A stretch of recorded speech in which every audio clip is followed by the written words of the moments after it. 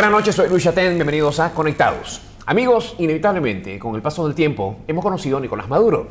Sabemos que alguna vez manejó autobuses, sabemos que le gusta comer cambures y sabemos que tiene pruebas que nunca las muestra, pero tiene pruebas. Tengo elementos de fondo, pruebas de que hubo un proceso de penetración ¡Ay, vale! Bombadita con eso. Bueno, perdón, perdón, perdón. No fue mi intención. Este es un programa serio. Tengo elementos de fondo, pruebas de que hubo un proceso de penetración, de infiltración a través de la corrupción y de los corruptos de la Embajada de los Estados Unidos de Norteamérica en puestos claves de la industria petrolera. No, qué pena con los cubanos, quiere pensar esa gente. Juan será que se cansaron de que los penetráramos y los infiltráramos nosotros, que ahora están permitiendo que los penetren y los infiltren los norteamericanos. ¿En qué fallamos, Pipo? Maduro siempre dice que tiene pruebas, siempre anuncia que las presentará a la luz pública más temprano que tarde. Algún día el caso de Nicolás será estudiado en congresos odontológicos por lo muelero que era. Tenemos que hacer una revolución dentro de PDVSA. Y esa revolución solo la pueden hacer los trabajadores. Exactamente como lo están pensando, sucedió. Nicolás propone una PDVSA rojita rojísima. Los tiempos de la PDVSA roja rojita quedaron atrás. Solo una PDVSA roja rojísima puede fundar las bases para una PDVSA rojísima, ultra rojísima, que a su vez, de paso, iría a nacer a la PDVSA recontra rojísima soberana para el ño. Hay que hacer un plan muy integrado y con mucha capacidad transformadora. Los planes no pueden ser ejercicios solo metodológicos. Misión, visión, fortaleza, oportunidad, está bien. Puede servir para organizar las ideas, pero el plan tiene que ir a lo concreto. ¿Dónde, cuándo, cómo y quién? Bestial, bestial. Nadie entendió lo que dijo, pero lo dijo con una seguridad que la propia Silvia se acercó a intentar resolver el acertijo. Miren, se los voy a explicar yo en otras palabras. Los planes, visión, misión, acción, está bien, pero ¿dónde, cuándo, cómo, quién? Se han preguntado qué tal, quién, dónde, cuándo, cuándo, cómo, quién. Ah. Y esto tiene que ser un esfuerzo de todos, de todas. Amerita una gran organización una nueva organización, nueva en el espíritu de trabajo, nueva en la dinámica de movimiento y nueva en los resultados porque tras quebrar la industria petrolera venezolana, PDVSA tendrá que dedicarse a la exploración, perforación y comercialización de pozos de chicha. Vamos sin freno, vamos rumbo a la Venezuela chichera. Se me ocurrió la semana pasada mientras estaba gando. Yo me pongo creativo cuando hago, por eso la hago tanto, para ver si se me ocurre algo. Miren, Nicolás se refirió a la PDVSA dirigida largamente por el individuo que se ríe así porque sabe que ellos saben que él sabe mucho. Rafael Ramírez dentro de la industria petrolera empezó a suceder o se hizo evidente un proceso de descomposición moral en los principales mandos que estaban al frente de la industria. Comenzaron a llegar señales. Una señal por aquí en la faja petrolífera del Orinoco, doble fondo, robo de petróleo, no contabilización, manejo de recursos, aviones privados, helicópteros privados, prostitución. ¡Sapo! Pero Maduro no sabía nada, porque a Maduro, porque a Maduro, Correcto, porque a Maduro lo tenían engañado. Y no era la primera vez, a Nicolás lo habían engañado toda la vida. Una vez le dijeron que el ratón Pérez era pariente de Carlos Andrés. Le dijeron que Juan Manuel y Romeo eran mellizos. Le dijeron que Chávez había reencarnado en un pajarito cuando todos sabemos que regresó a la Tierra en forma de... de caballo. Aprovechando la presencia del dictador Conguero, un camarada se armó de valor, solicitó el derecho de palabra y dijo... ¡Chávez vive! No, mi amigo, Chávez se murió hace tiempo. Señor presidente, solicitamos a usted hoy la venia para iniciar con el Código de Conducta Ética Socialista las jornadas de transformación estructural dentro de nuestra PDVSA, la cual le garantizamos las mujeres, las jóvenes, las revolucionarias que pertenecen también a nuestro sindicato, pero sobre todo, señor presidente, los trabajadores y las trabajadoras comprometidos con el cambio estructural que requiere nuestra industria petrolera. He aquí, señor presidente, los hombres y las mujeres de nuestra patria comprometidos con el pueblo venezolano. Sirva usted toda la diligencia para concretar la reestructuración de nuestra PDVSA, transformándola a una PDVSA verdaderamente socialista en un modelo de gestión participativo y protagónico como lo establece nuestra Constitución Nacional.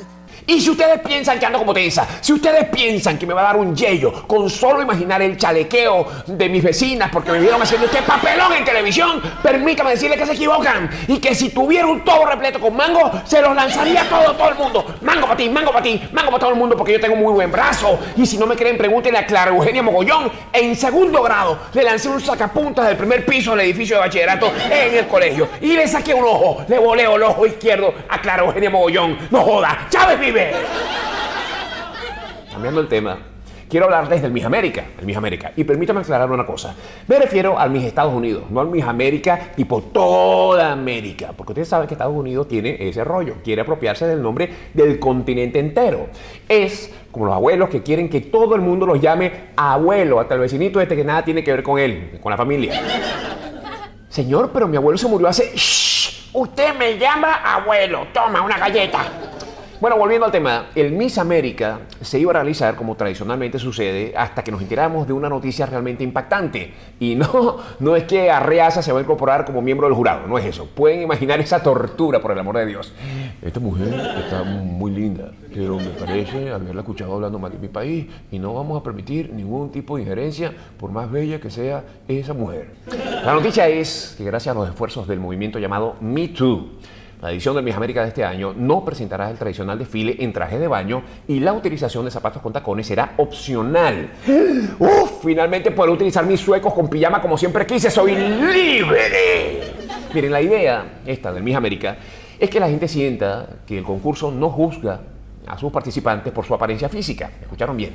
El concurso Miss América no juzgará a sus participantes por su apariencia física. Un concurso de belleza que no juzga a los participantes por el físico. Es como las famosas hamburguesas veganas. Están chéveres, están de moda, pero no es lo mismo. Una carne de lenteja no es una carne de nada, por el amor de Dios. Con permiso de los chefs presentes. Ok. En lugar del desfile de traje de baño, ahora el concurso contará con un espacio en que las participantes hablarán de sus talentos y sus logros. Tengo que confesar que me parece una vuelta muy original. No se parece en nada a American Idol, no se parece en nada a America's Got Talent, no se parece a The Voice, no se parece a The Four, no se parece a The X Factor o no se parece a quien quiere ser canciller venezolano. Amigos, continúa la gira de mi nuevo show de stand-up, se llama nuevamente, las fechas las ven en pantalla, en Colonia, Alemania, nos vemos 9 de junio, Valencia, España, 14 de junio, Bilbao, 15 de junio, Las Palmas, Gran Canarias, 16 de junio, La Coruña, 17 de junio, Barcelona, España, 19 de junio, Alicante, 21 de junio, Sevilla, 29 de junio, Vigo, 30 de junio, Madrid, 3 de julio, Zaragoza, 6 de julio y de regreso a los Estados Unidos en Boca Ratón el 28 de julio. Nos vemos muy pronto nuevamente. Tradicionalmente conectados se genera desde las instalaciones de Noxo Studios en la ciudad de Miami. En esta ocasión lo hacemos agradecidos desde el restaurante Ananá en la ciudad de Madrid, en una producción de Ángela Furió para TV Venezuela y para Vivo Play. Hoy voy a conversar con uh, una influencer venezolana que lleva mucho tiempo viviendo aquí en España, viviendo en Madrid. Ella es Keka Martínez. No se retiren, ya regresamos a Conectados.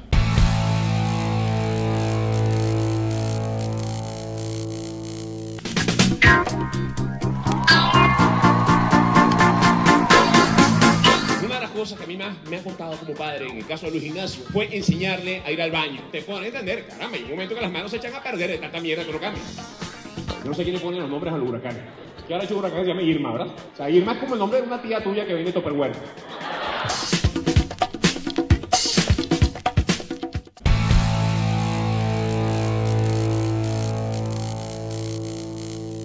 Regresamos a Conectados. Bueno, ya se encuentra en este estudio maravilloso que nos ha proporcionado nuestros amigos del restaurante Ananá en eh, Madrid. Mi invitada de hoy, ella es Keka Martínez. ¿Cómo estás, Keka? Bienvenida. Bien, gracias. Nos aplaudimos nosotros porque no tenemos... ¡Gracias, Poliedro! Keka, cuéntame, el tiempo que tienes acá en Madrid, ¿cuándo, ¿cuándo te mudaste para acá? Eh, en Madrid tengo cuatro años, en España ya tengo siete. ¿Y te viniste de Venezuela por qué motivo?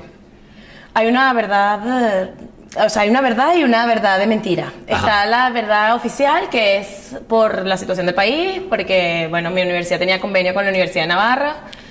Y ¿Cuál universidad era la tuya? La Universidad de Monte Ávila. En Caracas. ajá. Y, bueno, esa es la, la verdad oficial. ¿Publicidad estudiaste tú? Estudié comunicación Social, social. ajá. Y luego aquí me cambié a comunicación audiovisual. La verdad extra, extraoficial es que tenía una visita aquí en España. Ah, bueno, por el amor de Dios, Que me jaló claro. más para España que para Estados Unidos. Ah, ¿Y sigues con el mismo muchacho? Terminamos antes de que me mudara. O sea, yo pagué la inscripción y Sí. terminamos a los 20 minutos, más o menos. Un éxito. Mira, ¿por qué, ¿por qué decidiste por la comunicación? Porque En, yo hablo, en- hablo, en hablo, Venezuela, hablo. ¿Qué, qué es lo que te llama la atención? En realidad yo estudiaba, empecé estudiando arquitectura. Porque mi papá es ingeniero, yo presenté la Simón así como por no dejar y al final quedé y mis papás me sugirieron obligatoriamente darle una oportunidad a la arquitectura. No me gustó y nada, de, de siempre me ha gustado hablar Ajá. y nada, me fui por la comunicación. ¿Y recuerdas algún tipo de, de- de influencia en tu vida que haya despertado ese interés en ti, en la radio, la televisión? Tú la conoces y deberías presentármela. ¿A quién? Ay, a Erika. ¿Erika la Vega? Sí, la. ¡Ay, mira qué maravilla! Sí. Qué bueno. ¿Qué, qué es lo que te, te- te- te gusta del trabajo de Erika? Me encanta, me encanta. O sea, de hecho, a mí me dicen full, me comparan full con ella. Ajá. Me dicen tipo, eres la Erika de la Vega de este momento. Y eso es mejor que me digan que Perdón un momento, no me flaca. digas. Eso te lo dijo Carlos Baute. ¿No? Porque, porque Carlos va eh, conquistando muchachas con ese cuento por todas partes. Ah, ¿en serio? ¿Le No, dices deja- mundo? Déjame advertirte, a las rubias, a las rubias. Bueno, yo le he visto un par de muchachas con afro que le dicen, ay, verdad, tía, que es que tú me recuerdas tanto a Erika de la Ay, Vega. Y yo, por favor. Vega. No, a mí me lo han dicho varias veces y para mí eso es mejor piropo que me diga, estás más flaca. Qué bien. Es que, ¡ah! eres, te pareces a Erika de la Vega. Y que, ¡ah! Eh, eh, eh, ¿Y la conoces, Erika? No. ¿Le has escrito alguna vez? Sí, una vez y me leyó y me respondió y yo casi me desmayo. Ajá. Sí, no, viví para contarlo, pero bueno. Qué bueno. Un par de días. O sea, ¿tú recuerdas el tiempo de ni tan tarde? De, No, de más ahí proviene más la... o menos. Ajá. Ver, mi, fan, mi fanatismo heavy, heavy empezó cuando ella, cuando su show de Erika tipo 11. Erika Tipo O sea, yo comía, o sea, almorzaba y cenaba viendo a esa mujer. Ah. Repetía los shows, no me importaba nada. O sea, para ti la comedia, ¿qué es, qué- qué es la comedia en tu vida? Es mi manera de expresarme. De darle una vuelta a las cosas y verlas desde el punto de vista positivo. Realmente yo lo que hago es básicamente quejarme de las cosas. Ajá. Y las cosas que me molestan, pues le doy un poco la vuelta y que nos riamos de ello. Eh, a ver, y, y entiendes a la gente que, que porque hay personas que tienen, yo creo que todo el mundo tiene humor, o sea, todo, pues, en, en la misma esencia del ser humano está el humor, lo que pasa es que está en distintas En formas. distintas formas, o sea, ¿no? Eh, eh, pero hay, hay gente que de pronto ve las cosas que tú haces y dice, no, no, no le encuentra la razón de ser. Total, pero es que eh, hay demasiados tipos de humor. O sea, yo, de hecho, para mí una de las cosas más importantes en una persona es que compartamos el mismo sentido del humor. Ajá. O sea, cuando la gente tiene un humor muy distinto al mío, que es como que yo no entiendo, es que yo no sé si esta amistad va a prosperar mucho. ah. pero no porque yo no le dé risa, sino como que nos dé risa las mismas cosas. O sea, Sí. George Harry, por ejemplo, que me encanta. También Ajá. la gente que me dice, no, a mí no me gusta George Harry, yo dije, bueno, aquí no hay nada que hablar. yo me voy. Gracias por este pasticho, Sí, estaba es- delicioso, pero Es yo me como voy. hablar con un chavista, ¿sabes? No me interesa. No, gracias. Mira, eh, pero, pero eh, ¿tú eres, de risa fácil o eres de las personas que aprecia el ingenio que puede conllevar a una situación de humor a la comedia? No, a mí, me gusta, a mí me gusta el humor inteligente. Ajá. Ojo, que pues depende de cuál situación puede ser también de risa fácil. Yo me, me río muy alto y me río mucho, pero, pero sí, me gusta el humor inteligente. Y eh, eh, eh, tienes, tus sentidos están abiertos a, a estar a, eh, a la percepción del humor. O sea, con esto me refiero a si estás en la calle, está- estás observando cosas, 100%. estás pendiente. Ajá. 100%, o sea, la mayoría de mis chistes son basados en cosas que me pasan a mí o que le pasan a alguien. O sea, yo estoy todo el día buscando un chiste. De repente, eso, mm, no sé, traigo un café de. A- Ajá. No sé, a- hablando del moledor de café y eso es ya, espérate, espérate, a ver, que te viene esto de cómico, o sea, estoy todo el día así. Ah. Eh, ¿qué, qué, qué- qué significa para ti la palabra influenciador? es tener una influencia sobre una comunidad que te siga, o sea, que te escuche y, y bueno, ese es el, el peligro también que tiene. Yo siempre digo que el- el- este mundo de las redes sociales ha sido súper positivo para la gente a- para darse a conocer, o sea, porque que yo, a ver, te voy a poner un poco en situación. Yo vivía en Barinas cuando era chiquita. Ajá. En Barinas no veía televisión. Yo quería ser estrella cuando era pequeña, pero no tuve la oportunidad. O sea, yo quería estar en el Club de los Tigritos. Ah, imagínate. Pero estaba como complicado las ocho horas de viaje, de carretera. Ajá. Entonces, las redes sociales le dan la oportunidad a gente que quizás no tiene la- el, el contacto necesario o el- las oportunidades para mostrar sus talentos.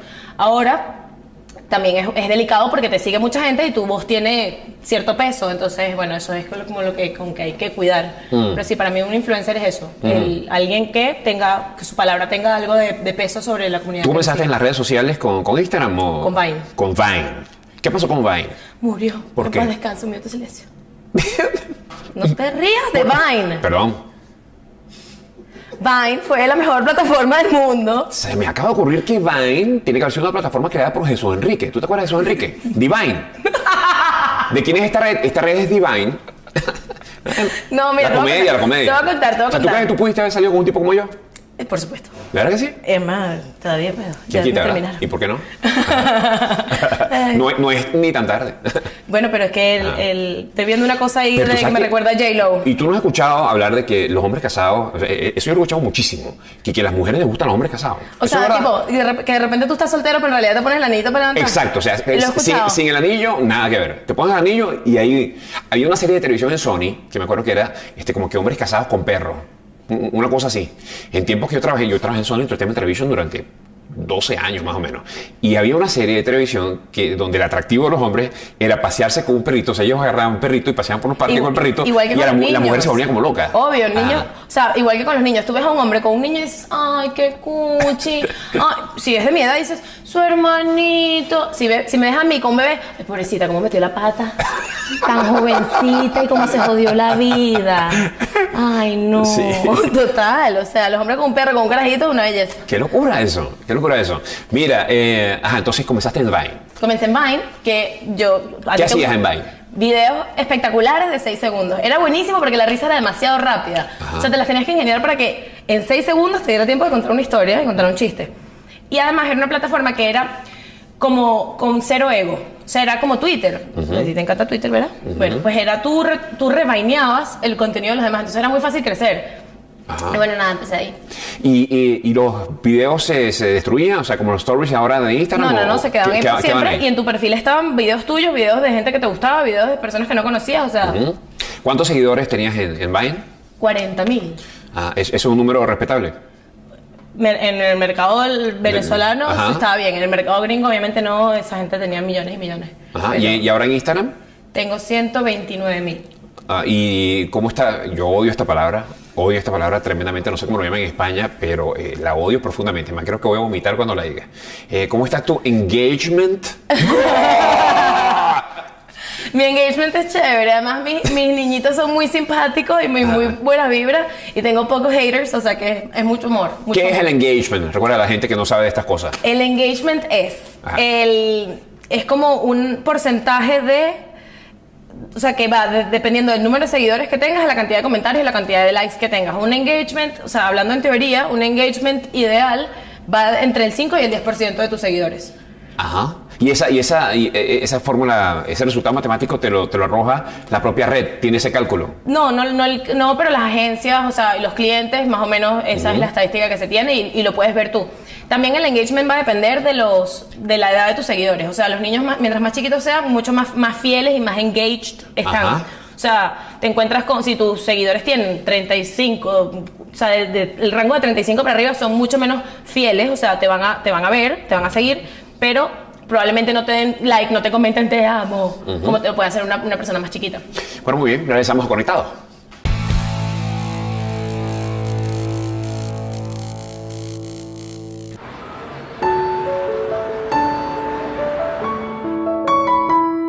Bueno, lo primero que yo hago antes de cada función, prenderle una velita. Una velita blanca, con mucho respeto. Y mi pensamiento le digo, bueno, si quieres decir algo, dilo a través de mí. Y aquí estoy admirándote y respetándote.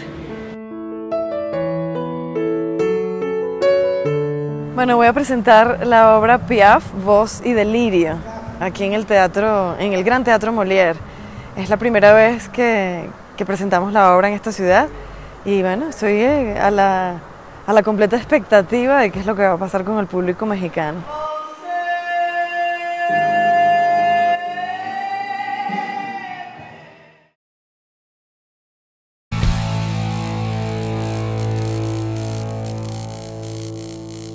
Regresamos a Conectados. Keka Martínez, mi invitada esta noche. Eh, Keka, ah, háblame de, de- de las redes sociales aquí en, en- en España. O sea, la- ¿Qué te cuento? que- ¿cómo funciona? ¿Cuál funciona más? ¿Facebook, Twitter, Instagram? Aquí sorprendentemente se mueve muchísimo, muchísimo Facebook. Ajá. Cosa que por lo menos en Venezuela ya se ha dejado un poco a un lado y lo... Pero sigue siendo la red que está mandando en el mundo entero Facebook.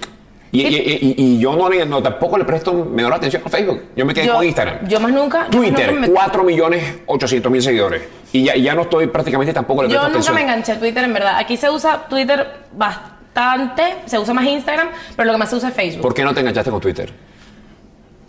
Creo que porque no tenía videos. Ajá, ajá. No podía mostrar esta cara bonita. Pero es el, el escribir eh, cosas. eh, No me parece suficiente 140 caracteres. Mm. Tengo demasiadas cosas. No me cabe. ¿Y te parece suficiente los 60 segundos para una imagen? Me parecían suficientes 6. Hablaba muy rápido. Ese, ese- ese paso de los 6 segundos a los 60, ¿cómo fue? Fue lento. O sea, primero pasó de cuando hicimos la transición los Viners a Instagram, Insta- fue porque Instagram abrió los videos y los videos de Instagram duraban 15 segundos. Que ya yo decía, ¿qué tanto hago yo? Con... O sea, 10 me parecía perfecto. O sea, 6 se me quedaba un poquito corto, 10 me parecía ideal, pero 15 segundos era como, y ahora por canto, bailo, ¿sabes? Para cerrar el video. Sí. Pero bueno, nada, poco a poco. Claro, el, el, el los videos eran como puros rapiditos. Todo era rapidito. Era súper rápido y se veía así, ¿sabes? Tú veías el feed así, ¿sabes? Ajá, ajá. Era lo máximo. Nada, y el, el tiempo en Instagram fue aumentando poco a poco, no fue un minuto de un solo golpe. Y em, estás viviendo, tú vives de esto que haces en Instagram, de, de, tu- de tus videos, tus posts. ¿Cómo, cómo, ¿Cómo funciona esto? ¿Cómo produces, escribes, de tú misma editas? ¿Cómo, cómo es tu Sí, trabajo? sí, sí, sí, sí, yo soy One Woman Show. Em, ¿Cómo funciona mi trabajo? Bueno, tengo clientes que se publicitan a través de mi plataforma porque no de hacer una plataforma, es como publicidad, hace en la televisión, o sea, no deja Pero de que ser hace una plataforma. Sí, Ajá. y las mencionas. Recomiendas cosas. Eh, yo no colaboro con marcas que no me gustan, o sea, intento ser como muy fiel a eso porque algo que se caracteriza a mi perfil es que yo soy muy sincera. O sea, con todo. O sea, si estoy mal humor, estoy mal humor y si no, no, mi Instagram no es ni la vida perfecta ni la... no Como no es la vida de nadie. Exacto, exacto. Pero las redes sociales suelen mostrar muy la vida perfecta, cosa que no es. Entonces yo trato de ser lo más sincera posible. Y lo mismo con las colaboraciones. O sea, si a mí de verdad no me gusta un sitio o no me gusta X marca, no me voy a vender por... Por o sea, pero porque no quiero perder mi... Tu esencia. Y, y mi, la confianza que tenga la gente en mí. Ajá. Mi engagement. Y la confianza que la gente tenga en mí. Entonces, Ajá. intento mantenerme como que al margen de las colaboraciones que no me gustan. Y bueno, nada, sí, eh, grabo, edito, escribo. ¿Y, y con, con- con qué frecuencia estás subiendo piezas a, a Instagram? todos los días. Todos los días subes una. No, subo una foto, un video, una foto, un video, una foto. ¿Y un las video. stories? Ah, todo el día. Ajá. Soy intensa. ¿Tú, tú crees que, a, a ver, si uno entra a tus stories se va a encontrar con estos 65 mil Depende del día. que-. Depende del día. Yo intento que no, que no lleguen al puntico. Cuando ya la rayita se está haciendo muy pequeña que parece una costura, yo digo, ya, vale, que estás como intensa, güey. Tengo otra cuenta, tengo una cuenta de fitness de humor, entonces yo voy, voy para la otra. ¿Cuál es, cuál es la, la esencia del story? ¿Para, ¿Para qué sirve un story? Yo creo que es para conectar más con la gente. O sea, te da la oportunidad de hablar cosas como mucho más cercanas, de que incluirlos un poco en tu vida. Y además con la conciencia de que te- eso va a estar ahí co- colgado 24 horas nada más. Claro, Ajá. sí, ya está. O sea, si te fuiste para una fiesta, te, metiste una- te tomaste unos traguitos de más, Ajá. eso desaparece el día siguiente, ¿sabes? La gente se olvida. Mira, eh, um, eh, eh, para la persona que tiene eh, éxito hoy día en redes, eh, YouTube, todas estas cosas, Facebook y tal, la televisión, el cable, eh, la señal, la- los grandes networks de señal abierta, eh, ¿son algo aspiracional o son algo que están fuera del plan? A mí me encantaría pasar a la tele. O sea, yo siempre digo que mi siguiente paso sería el stand-up, pero a mí me da bastante vértigo el, el público. Y ¿Lo has intentado alguna vez? No. Nunca lo has hecho. Pero porque, o sea, lo he intentado practicar con mis amigos. Ayer estábamos en mi casa mis amigos y yo, dale, practica tu rutina. Y yo dije, no. ¿Sabes? No, me, me muero Pero que eso vergüenza. es muy cruel. Los amigos no, eh, eh, está, Yo también creo no eso, es. yo también creo eso. Claro. Pero bueno, X, yo siempre digo que mi, mi siguiente paso será el stand-up, estoy trabajando en ello, pero bueno, me da un, un vértigo que me muero, pero en verdad yo creo que yo sí quiero pasar a la pantalla. Ajá. Y es verdad que nosotros consumimos poca televisión tradicional, pero están las plataformas como Netflix, que realmente esa es la televisión que yo veo y no deja de ser cine, no, no deja de ser series. Eh, ahora, volviendo al tema del stand-up, que, que además e- es como una dimensión completamente distinta. Si fuiste capaz de pasar del Vine a Instagram, pues creo que puedes hacer el esfuerzo de pasar de Instagram al escenario. Pero yo creo que me voy a tener que llevar un teléfono y va a ser así. Micrófono, teléfono. No lo veo, no lo veo. Niñito. Bueno, de repente tu primer, tu primer show lo puedes hacer en un en un Grabándome. live stream. Claro, en un live stream. Puede donde vas a tener además la ventaja de no eh, escuchar la reacción del público ni de someterte a que la gente le guste o no. Claro. Porque Es eso que es, eso eso- una prueba para torero. Eso es, eso es demasiado. O sea, dime tú que cuando empezaste, ¿no te parece demasiado duro? Momento. Lo capaz no te pasó porque tú eres muy cómico. Pero contar un chiste y que nadie se ría. Yo, y que. Pero es que no. me, que me mato. Es que eso no tiene nada que ver con lo cómico No- no tú seas. No, es- Mira, nosotros estamos viviendo, a ver, sácame, vamos a ver si estás de acuerdo conmigo. Estamos viviendo unos tiempos en los cuales pasamos el día buscando eh, que, que a, que a los demás les guste lo que uno hace, que, que- que la gente sienta empatía. Eso es parte de todo que, lo la- que que es la redes gente, pero por el amor de Dios, Complacer a todo el que mundo. estrés. Yo, yo, Total. yo te voy a explicar una cosa. Yo tengo 25 años haciendo esto. 25 creo que ya voy para 26. Y en mi vida tuve yo que estarle jalando a nadie, absolutamente a nadie, ni me preocupó tampoco que lo que yo hiciera fuera del gusto absolutamente de nadie.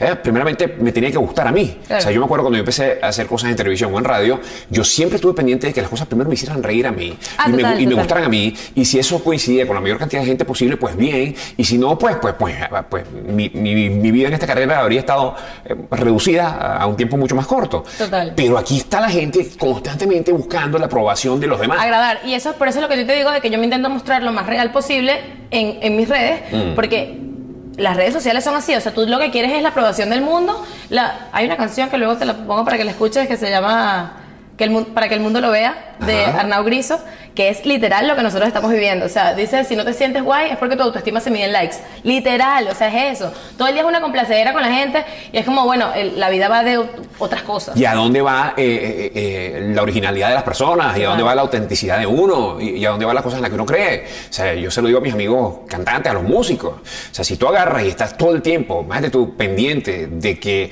esta canción le vaya o no le vaya a gustar a la gente, nunca vas a publicar un disco. O sea, nunca vas a sacar un disco porque siempre va a haber gente a la que no le va a gustar. Claro.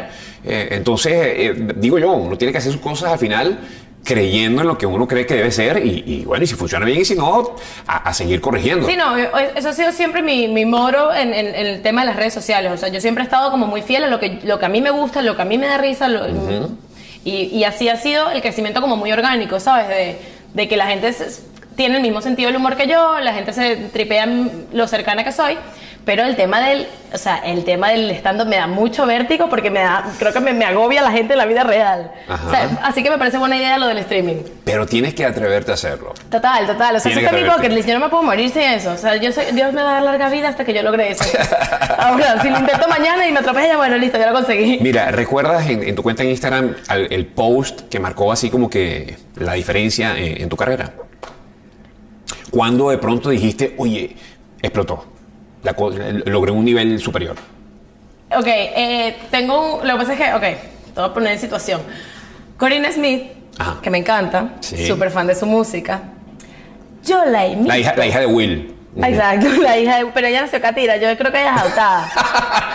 ella la imito, Ajá. entonces, porque, pero ojo, todo esto es del fanatismo, a mí me encanta su música, me he visto todos sus videos y sé cómo Es un tributo, es un todo, tributo. Obvio. Ajá. Ella no se lo tomó muy bien, pero mis seguidores se lo tomaron súper bien. Y eso fue mega boom. Hizo una parodia en YouTube de un video de ella, me disfracé de ella, unos pelos amarillos por aquí, espectaculares, las uñas postizas. Y entonces, bueno, ella no se lo tomó muy bien y dejé de hacerlo porque en verdad no quiero problemas con nadie. Pero ese momento fue cool. Pe- Pero, eh, a ver, yo creo que el humor siempre tiene una víctima. Necesariamente siempre Eso es lo que yo víctima. pienso, pero no todo el mundo se lo toma bien y en verdad no quiero, Ajá. no quiero problemas. Y, em, ¿y le pediste disculpas? No, no le pedí disculpas, pero... está bien, no lo hagas. No, no- no es necesario. Pero No- bueno, la primera vez que pides disculpas vas a tener que pedir disculpas toda tu vida. Cuando ella estuvo aquí en Madrid, tuvimos la oportunidad de conocernos y creo- no, no lo hicimos, entonces bueno, esa era- ahí le iba a decir, chama, ¿Pero se vieron? No. No se vieron. ¿Y, y- y te generó algún tipo de remordimiento? ¿Te sientes así como, como, como medio repetidita? No, no, para Ah. nada, en verdad, me da demasiada risa ¿Y ese chiste. Lo que pasa es que no quiero, no quiero conflicto, pues, todo. Pero la gente siempre me escribe, "Baby Cory", y yo que te lo voy a mandar por privado. Ajá. Mira, eh, claro, pero es que es complicado, porque toda situación de comedia, de humor, tiene una víctima. Total. Si haces una cuestión eh, con la gente que se... y te quemas preparando la pasta, te estás burlando de la gente que no sabe cocinar. Eh, o te estás burlando de la gente que está lisiada por quemadura. Entonces, la Federación Mundial de Gente que se quemó Total, preparando alguien que se va a pasta... ofender. Mi mamá es, por- o sea, mi mamá cada vez que yo escribo, pongo algo de- con un humor un poquitito gris, o sea, porque no llega el negro, porque Ajá. si yo de verdad de contara mis chistes con mi verdadero humor ¿Así? negro como la noche, como los dementores Ajá. y Voldemort, así, de ese color, estaríamos mal. Pero mi mamá me regaña. Ah, pero tiene, tiene ese tipo de humor. Me encanta. ¿Y por qué no lo usa? Ay, porque, no sé. Eh, y- y, eh, eh, ¿Tienes miedo que hieras a, a la gente? Sí, yo no quiero, no quiero hacerle daño a la gente. Ajá. Y tengo mi mamá es muy pesada. ¿Crees que, eso. ¿Crees que ese humor es mejor que el humor blanco que, que usa? Que tu humor irónico y, No, a, mí, negro. a mí me da más risa. Ajá. A mí me da más risa. ¿Crees que serías todavía más efectiva utilizando ese humor? No lo sé. No sé porque no he hecho el experimento, pero a mí me encanta. el- O sea, tipo, cuando vino el profesor Briseño, yo lloré. Ese tipo de humor se parece a- al que hace Briseño, al que hace Nacho Redondo. Lloro. Ajá. ¿Qué te pareció esa, esa situación que vivió Nacho con eh, la rutina que hizo en, en la Universidad Central de Venezuela, donde hacía, eh, se refería a la gente que tiene algún tipo de discapacidad? O sea, es que, yo, es que ese es el tema, que puedes ofender a mucha gente. La cosa es que cuando estás manejando el- el- la clave de humor tienes que entender que, no, que realmente no quieres hacer daño a nadie, simplemente estás haciendo algo cómico de una situación X, o sea, así como te puedes burlar de la discapacidad. te yo tengo un primito que tiene síndrome de Down y yo siento que yo tengo licencia para hacer chistes sobre eso. Ajá. ¿Por qué? te quiero decir- ¿Por qué?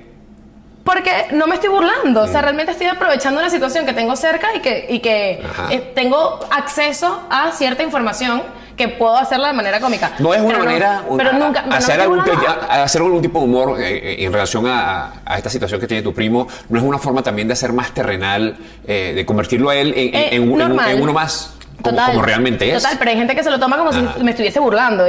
Y, por eso, por eso siento que yo, teniendo a mi primito, tengo licencia Ajá. para hacerlo porque ya está el factor amor a mi Claro, familia. claro. Ahora, si no lo tuviera, quizás quedaría como que, ja, ja, ja, te estás burlando. Mm, Que eso es lo que me gustaría evitar. Claro. Muy bien, ya regresamos a Conectado.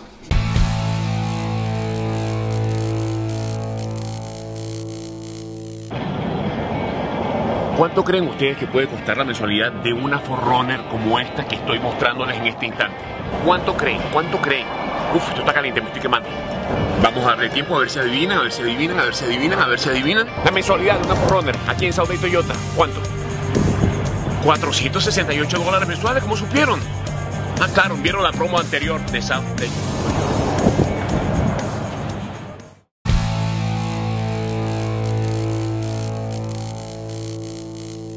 Regresamos a Conectados. Kika Martínez, mi invitada de hoy, acá en la ciudad de Madrid. ¿Qué tal Madrid?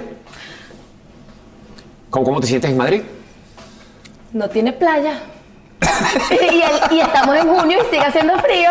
Maravilloso, Pero que es una locura. Yo venía para acá. Yo, mira, eh, mi esposa me compró tres bermudas. ¿Ves que sí estás casado? Tres bermudas. Claro que estoy casado, chica. ¿Tú creías que esto era pensé que qué? era mentira. No, por el amor de Dios, estoy casadísimo. Tengo 10 años casado. Ya va, esto lo estábamos hablando antes o después. ¿Esto, lo, lo- del matrimonio? Sí, no, ¿no? esto ya pasó, esto ya salió. O sea, tipo, estaba, estaba grabado, ¿verdad? Antes de que lo. o antes No, no, ya, o sea, ya la gente sabe lo que estamos hablando. Ah, ok, tú- ok, sí. ok. Es que no sabía si lo habíamos hablado. No, esta entrevista va en orden. La gente dice, ¿de qué están hablando? No, sí, esto ya pasó, esto sucedió. Digo que sí estaba grabado, ahora me pregunto. Discul- disculpa. Pero, pero, eh, fíjate, eh, eh, Ajá, tu esposa te compró. me compró unas bermudas porque pensó que íbamos a estar acá en esta temporada del año que tradicionalmente pues es un, eh, es un infierno del calor en Madrid. No, un infierno, esta temporada es la ideal, o sea, es como ¿Tú un dices? calorcito perfecto. No, por favor. Entonces, ¿cuál es la, la que es horrible? Julio. En julio, julio y agosto, o sea, se te Ah. derriten las suelas de los zapatos, no te puedes quedar mucho tiempo parado. Impresionante el calor. Eh, ¿y, y está haciendo este fresco? No, horrible, o sea, yo ya hice mi cambio de armario y lo que tengo afuera son franelitas, bueno, yo saliendo de mi casa con la, con la manta del sofá. No puedo. Ajá. O sea, el micrófono lo jodí. ¿Lo jodiste? Yo, no sé. No, vale, un- está- no importa, no importa. Este, sí, no, está haciendo un frío horrible, no entiendo. Eso espero que signifique que en diciembre era calor. Mira, ¿y las historias que estás haciendo para, para Instagram eh, um, suceden en la ciudad o, o suceden en, en- en lugares que son universales para cualquier persona que te vea de cualquier parte del mundo? Los chistes, dices. Ajá, las situaciones. Sí, o sea, las no, situaciones- no- no tienen de esto, de esto, de No, esto. no, no, no. Y a mí, yo El armario, sí que el armario. Bueno, el armario. Pero algo me he tenido que adaptar después de siete años de que gente me diga que no me entiende lo que hablo. Ajá. Pero yo, yo- o sea, yo me mantengo en mi esencia y yo soy venezolana y estoy orgullosísima de serlo. Y creo que no solamente las redes sociales, sino que el hecho de que eh, haya tanta gente viajando por el mundo nos está universalizando bastante y está cada vez siendo más aceptada el- otras, o sea, otras culturas dentro de una sociedad. O sea, cuando yo me mudé a España había bastante menos gente de fuera y era más difícil. Ahorita esto está lleno de, de venezolanos, de argentinos, de, o sea, de cualquier, de cualquier Ajá. nacionalidad. Y eso es un poco lo que yo intento hacer. O sea, que, que el humor se entienda, de- me estés viendo desde donde me estés viendo. Puedes estar en Madrid, pero puedes ser de donde sea. Un poco por ahí va la Eh, y en, la cultura española hay, hay cosas que, que, hayas, que hayas tomado para tus piezas en, en Instagram. Eh, bueno, ahorita tengo un sketch que se llama Lost in Translation, que es con mis amigos españoles, que lo que hago es como que lo que significan las palabras en Venezuela y lo que significan las palabras aquí. Y es toda la confusión de no nos entendemos hablando. Y han funcionado full bien, en verdad, porque nos pasa, nos pasa a Como por ejemplo, ¿cuál? Ayer subí, antes de ayer, subí uno que, bueno, como tantas palabras, o sea, pollina, que es flequillo aquí para... Flequillo, ajá. Si tú dices pollina, es una polla pequeñita, o sea, un pipicito. ¿Aquí en España? Sí, entonces te puedes imaginar la primera vez que yo dije que me iba a cortar la pollina. La gente que, Oh, wow. excuse me. Ajá. En Argentina, pollina eh, es más bien la totona. Ah, ¿ves? Ajá.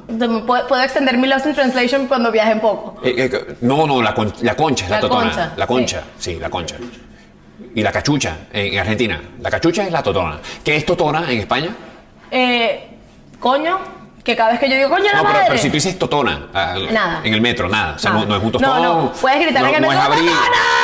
Y nadie te va a decir nada. Mira, pues debe ser la pareja de Totón. Exacto. Totona es la esposa de Totón. Ajá. Eh, pero hay muchísima. eh, eh, porque con México, por ejemplo, también hay, hay muchas cosas, pero con España hay tanta Mira, diferencia. carrito, eh, para nosotros es un carro, para ellos es el carrito de los bebés. Eh, bollera, aquí es lesbiana. O sea, estoy, estoy pensando en el video que hice. Eh, ladilla, por esa palabra que nosotros tenemos solo en Venezuela, eh, que en el resto del mundo significa lo que significa. Eh, Aquí en España, eh, la dilla no es la, la cosa de metal que sujeta el cinturón. sí, sí, justo. ¿Es eso, verdad? Claro, una cosa, aquí Ajá. justo, es que la gente siempre eh, mira para abajo, es eso. es Eh, eso. ajá, claro. La hedilla, del, pa- la hedilla de la correa. del, del- del cinturón. Ah, ok. Mira, eh, volviendo al tema de, de tu origen en, en- en toda esta historia. Tú trabajaste en producción de comerciales. Sí, tres años. Tres años. Desde que me gradué de la universidad empecé a trabajar en una productora, luego me hice freelance y luego volví a trabajar en una productora. Y rodé con muchísimos futbolistas famosos. ¿Cómo es eso? Ahí conocí a Casillas, conocí a Zidane, conocí a Chicharito, conocí a, conocí a full futbolistas, ahorita no me acuerdo. Eso a era- Cristiano, Cristiano Ronaldo me pidió mi número, No te creo. nunca me llamó. Ah, mira, y le llevas una ventaja a Erika de la Vega. Él nunca le pidió el número a Erika de la Vega. Erika, ¿y tú que no me quieres conocer? ¿Ves? Yo te puedo, no, no te puedo dar el número de Cristiano, no lo ¿Y eso qué fue una campaña con, con todos estos sujetos? Este, no, no, no, fueron en diferentes spots. Ajá. Lo de Cristiano fue en un spot para Nike, creo. Uf, eh, hicimos un, un Nike brutal, que fue un corto, de hecho, eh, donde estaban, había demasiados futbolistas, había muchos que eran dobles, pero a- a- vinieron futbolistas de Inglaterra, vinieron futbolistas de Portugal, vinieron futbolistas de todos lados. ¿Qué te dejó esa preparación en producción para, para la publicidad que estés utilizando hoy día en, en lo que haces en, en El, Instagram? el hecho de hacerlo todo, o sea, todo es posible y en el menor tiempo posible. O sea, en la producción tienes muy, muy plazos muy cortos de tiempo, o sea, todo es para antes de ayer. De repente te llaman y te dicen, mira, sí, que necesitamos construir un estadio de fútbol para esta tarde y tú tienes que ver cómo resolver. O sea, lo que te da es como esa facilidad de negociación, te da facilidad de manejo del tiempo, te da facilidad de acostumbrarte a trabajar 17 horas y no quejarte y luego ya verás cuando te recuperas. O sea, el trabajo de producción es como muy amplio, pero sí es verdad que te da como muchas herramientas para get things done. O sea, básicamente es hacer lo que venga. O sea, a mí me tocó hacer de chofer y buscar gente, me tocó cargar y descargar camiones, como me tocó mm, negociar presupuestos, como me tocó, eh, no sé, hacer casting. O sea, de todo. Y, y, eh, en, en el tema de los posts que están subiendo, las historias que subes a, a Instagram, ¿hay algún tema que no toques? ¿Hay, hay alguna cosa para la que te La reserves? La política. ¿Por qué la política? Eh, porque tengo familia en Venezuela todavía y mm, por seguridad. Por temor. Pero en ese humor ah, amargo y negro que dices que tienes, eh, ¿sientes que hay una facilidad para tocar el tema político? O sea, hubo una época que lo hice y ¿Y te amenazaron? no, me amenazó mi familia. Ah, ¿te dijeron que no lo hicieras porque ellos estaban allá? Sí, o sea, es- el tema de Venezuela está, está delicado y tengo mucha familia en Venezuela todavía y en verdad lo menos que quisiera es ponerlos a ellos en peligro. claro. Eh, ¿Qué significa para ti la libertad de expresión? Poder decir lo que piensas y que nadie te persiga, o sea, algo que no tenemos en Venezuela, que es manifestarte y, y ya. El, el cierre de RCTV, el cierre de emisoras de radio, todas estas cosas sucedieron cuando, cuando tú estabas en Venezuela. ¿Recuerdas que te hayan afectado en alguna forma particular? Emocionalmente, o sea, es lo que te digo, yo no, no fue, no me negaron un puesto de trabajo porque yo no vivía en Caracas y no tenía acceso a eso. Si hubiese estado en Caracas seguro que me iban a dejar desempleada porque yo iba a ser actriz. Pero eh, el tema es emocional, o sea, es ver cómo un país se va, o sea, que te vas quedando sin libertad de expresión y, y- y yo que quería estudiar comunicación, o sea, ves como cada vez tienes menos terreno para poder manifestar tu contento o descontento. O sea, realmente puedes, no se puede estar en un lugar donde los, donde los medios de comunicación solamente permitan decir cosas buenas. O sea, ¿Tú bloqueas gente en, en tu cuenta de Instagram? No, no suelo. Alguna persona, cuando me han hecho comentarios, eh, como que falten el respeto, pero Ajá. no suelen ser. o sea, Pero, pero eres tolerante con, con la gente que de pronto no comparte. que no estoy de acuerdo. Ajá. No me gustó tu chiste. Bueno, disculpen las molestias ocasionadas. ¿Les responde o lo dejas ahí? No, les doy. Alguna vez respondo y respondo con sarcasmo, o sea, tipo, disculpen las molestias ocasionadas, esperamos la- que en la próxima publicación seamos capaces de satisfacer sus necesidades. Gracias. Mira, y Muy vas, corporativa. va- vas acumulando eh, historias que se van ocurriendo para los próximos posts. O sea, tienes, tienes como una agenda de, de- Sí, sí, de- sí. de cosas que vas recogiendo. Anoto, sí, y luego tengo pendiente para grabar, ahorita tengo que grabar. Ah, qué, qué interesante eso, porque, claro, si no, se te va y. Claro, se te olvidan. O sea, yo hay veces que estoy durmiendo y de repente me levanto y que ¡Ah! soñé con un chiste. Ajá, y lo anoto y me duele dormir. ¿Sabes que esa es una de las pesadillas más recurrentes entre la gente que creativamente pues necesita Que se te olvide un de- de- que, que uno se acueste y se te ocurre una cosa maravillosa justo antes de agarrar y cocinar el sueño y dices, ok, ya tengo una idea, déjame, mañana la resuelvo cuando me levante y se te fue. No, no, yo me despierto y lo anoto, de una. No, me, no me arriesgo. ¿Y, y es una idea esencial o trabajas con un guion? No, normalmente anoto la idea y Ajá. luego improviso sobre la marcha.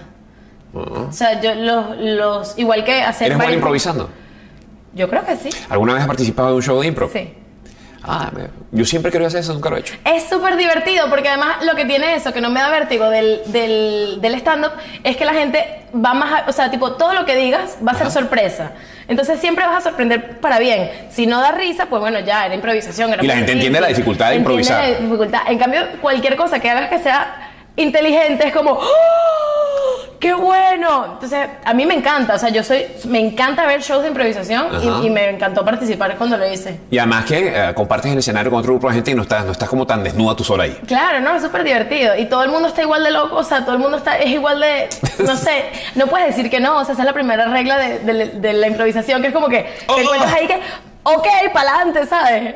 ¡Wow! Es súper divertido. Ya regresamos a Conectados.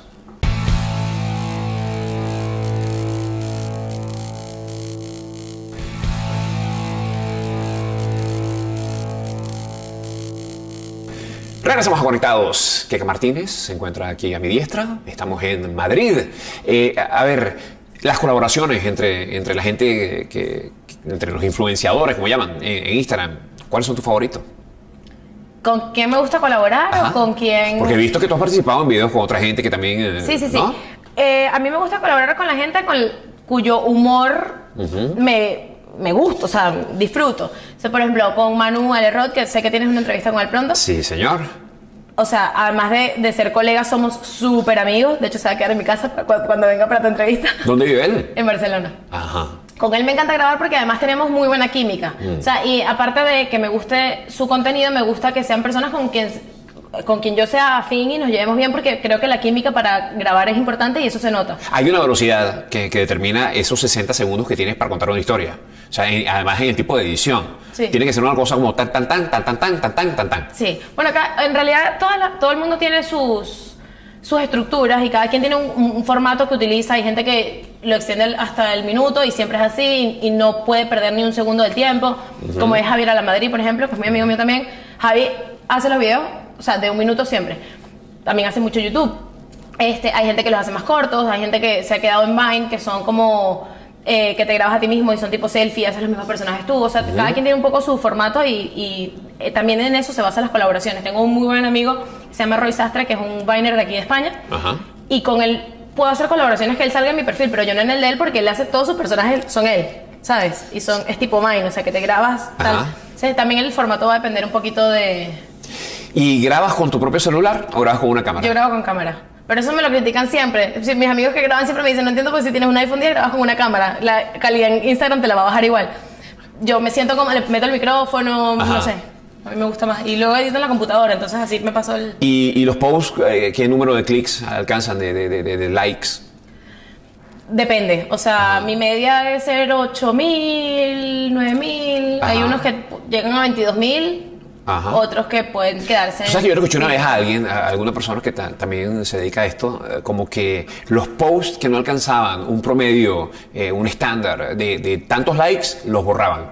Para que en el timeline se mantuviera Un- como una cantidad de publicaciones exitosas. O sea, tú eh, lograras mercadearte como alguien que, mira, todo lo que yo pongo acá es un palo. Es un palo, Ajá. claro. Yo no, yo sí he borrado posts, pero no tanto porque el, porque el engagement no haya sido suficientemente bueno, sino porque, de repente, Engagement, ajá. ¡Buah! sino porque de repente se me ocurre que no, no desarrollé la idea suficientemente bien. Ajá. Y lo veo y digo, esto no tenía que haber sido así. Entonces lo borro rapidito que nadie lo termine de ver y ya lo grabo en un tiempo y lo vuelvo a, lo vuelvo a subir. ¿Te has puesto la, la meta de, de escribir guiones para, para, para otras cosas? Tipo corto. Eh, tipo un corto o tipo un largo. No. O sea, ¿cre- ¿crees que, que- que tus historias se van a quedar resumidas a, a estos 60 segundos para siempre? No, yo espero que no. Hay que evolucionar. ¿Y a qué quisieras evolucionar? a la tele. Pero yo creo, a mí, ¿Y me qué gusta, quisieras más, hacer en a mí me televisión? gusta más actuar que escribir. O sea, yo vi... Yo Interpretar tuve- personajes. Sí, yo, estu- yo tuve varias asignaturas de guion en la universidad, como en- cuando estudiaba en Pamplona, y no me apasionaba especialmente. O sea, me, me- me gusta más interpretar que, que escribir. Ah, Sin embargo, los guiones que yo... Pero son guiones muy simples y eso, y siempre es humor. Ahora, no me importaría interpretar un personaje que no fuese de humor. A eso sí estoy abierta. Pero escribir me gusta a un tanto de drama. Sí, yo sé llorar. Llora, llora fácil. Mm, Soy muy dramática, mi mamá siempre me lo ha dicho. Ay, tú sí eres dramática, yo. Pero tu manera de llorar no es natural. Una No, persona no. que llora así, haciendo llorar a la gente. No, Bueno, Paula Echeverría Ese- Velvet llora, llora así. Que si lo ves en mute no sabes si se está riendo o llorando la gente. Mira, ¿y cómo son lo- lo- lo- los influenciadores españoles? Bueno, depende. O sea, eh, eh, ¿se parecen a los influenciadores venezolanos? Sí, pero el humor es distinto aquí. O sea, por lo menos en el tema del humor. El, los- el humor aquí es distinto. Y ¿En qué forma? O sea, como, como- es, más rudo, es, No, es- es, es más agudo. Es muchísimo más blanco. Ajá. Porque el público de aquí, ese es otro tema con el que a mí me parece peligroso jugar con el humor negro. Aquí el público es muchísimo más sensible que el, que el público venezolano. Harry siempre lo dice, que, que nosotros en Venezuela hacíamos bullying y eso era normal, y luego en el resto del mundo el bullying es como lo más horrible del mundo, que por cierto estoy viendo la serie de 13 Reasons Why, y me parece la serie más absurda del sistema solar, porque es un tema muy serio y que lo hagan ver tan idiota que esa niña se mate porque le dijeron que tenía el culo gordo, me parece, o sea, una falta de respeto a un tema tan delicado. Pero bueno, aquí está el tema del feminismo que súper latente. Entonces, tú haces un video que tenga un mínimo matiz de machismo, pero que simplemente estás hablando de estereotipos y ya te caen encima. Entonces, el humor de aquí es como muy cuidadoso con esas cosas. Además, son cuidadosos con el racismo también, supongo. Son cuidadosos con el racismo, son cuidadosos con el machismo, son cuidadosos con el, el- con hablar de gays. O sea, son- con todo eh, hay que tener muchísimo cuidado aquí en España. ¿Te tomó por sorpresa eh, lo que sucedió con Rajoy? Sí, full. Ajá. Pero yo no hablo de política. Pero no, más allá de la política o no. Mire, yo recuerdo, estaba yo precisamente con Guillermo Carrasco, eh, quien, quien participó en este programa hace, hace una semana. Y Guillermo me llegó al estudio y me dijo, oye, ¿tú crees de verdad que vayan a quitar Rajoy? Y yo, ¿qué pasó con Rajoy? Todo sucedió Demasiado tan rápido. rápido. Yo estaba en mi cuarto tran- tranquila, salí a la sala, estaba mi roomie y me dice, ¿sabes que tenemos nuevo presidente? Y yo, ¿qué? No, no, no, o sea, no entendí. Sí, Tú pensaste que se trataba de Caprile. Claro, yo y qué Pero parte. por Yo haciendo las maletas, ¡me Venezuela! No, yo aquí todavía. Mira, eh, hay mucho venezolano en Madrid. Hay muchísimo venezolano en Madrid. Sí. Mm, ¿Cómo, ¿Cómo lo sientes en la calle? Se- en- sí, o sea, escuchas venezolanos siempre. Al principio, yo cuando me mudé para acá me emocionaba. Yo escuchaba un venezolano y yo dije, ¡Tú eres de Venezuela! Ahorita dije, ¡Tú eres español! ¡Bienvenido! ¿Sabes? Mira, eh, a los españoles les gustan las arepas. Les encanta. Y los pequeños, no sabes. Goico hizo muy buena labor con eso. Además que los, los tipos como que crecieron una barbaridad. Sí, sí, sí. Yo fui, ellos me invitaron hace, yo no sé, dos años o, o tres años a, a- un restaurante que tenía y me, me comí como una hamburguesa que era una locura de hamburguesa. Y ahora llego en este viaje y me dicen que son como treinta y tantas de sedes. Eh, están por todo, por todo España. Es, Es una impresionante. Y locura. no, y, y no puedes ir sin reserva. O sea, la vaina es, puedes ser cero espontáneo. Tú hoy dices, tengo antojo de goico, pues aguántatelo por lo menos una semana. Sí, sí, no, les fue buenísimo, pero hicieron muy buena labor evangel- evangelizadora en ese sentido de los pequeños. O sea, Ah. los pequeños les encantan. Qué maravilla. Oye, Keka, muchas gracias por venir al programa. Ay, Muchas gracias a ti por invitarme. Encantado, de verdad. Y prometo, eh, eh, si cuando viajes a Miami, yo sé que eh, Alex Goncalves te lo prometió y no lo cumplió. Para que veas para- eh, una de las tantísimas diferencias entre Alex Goncalves y yo. Yo te voy a llevar a que conozcas a Erika de la Vega. ¿Ok? Eh, eh, eso va a suceder. Un beso. Dos que estamos en España. Coño, que son dos, joder. Y usted ya será hasta mañana.